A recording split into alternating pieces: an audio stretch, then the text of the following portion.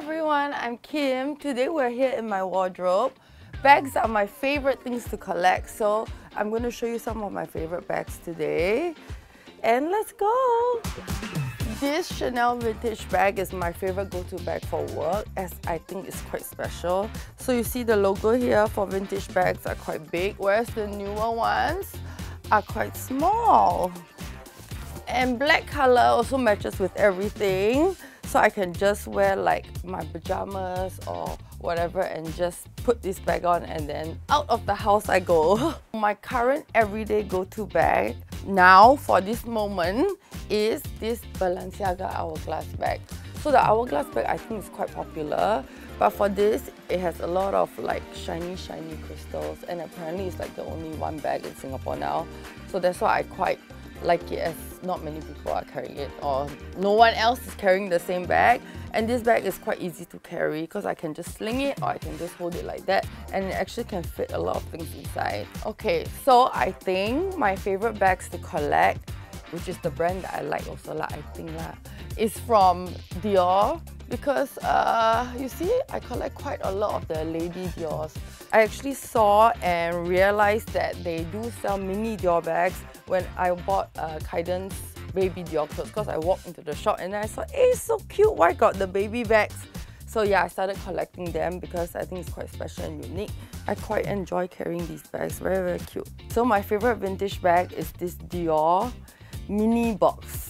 I found this in a shop in Japan. I like vintage bags because not many people are carrying it and you know for vintage bags you have to go and like hunt for the nice ones so it gives me a bit of excitement. Okay, so this is my most priced bag. It's priced because of course lah, it's a Himalayan but also because my dad bought it for me. He bought it for me because uh, I was pregnant with Kaiden then, about four years ago, and my dad super loves kids, so he was okay, go have more, have more. So yeah, that's why he was like, okay lah, buy you this bag, and he knows that I like it because at that point I was, I kept showing him the bag uh, on like online on Instagram and everything. I love all my bags, but this would be the bag I would take if I had to choose one. But it's because of the sentimental value lah. Okay, so this is my most difficult bag to get. I kept bugging my SA every day for one year until he told me it was available. So when they told me it was available, I actually like ran down to the store immediately, one minute later to go and collect this bag. This is the smallest bag in my collection and it's very impractical too, but I just bought it because I think it's very nice. So it's this AirPods bag from Chanel and yes, I do use it to carry AirPods, but that's all that can fit inside. So when I carry this bag, I always have to carry another bag on top of it. So I use this like an accessory.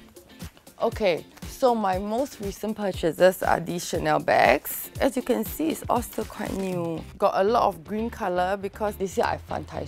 My animal clashes with this year's animal, which is the ox.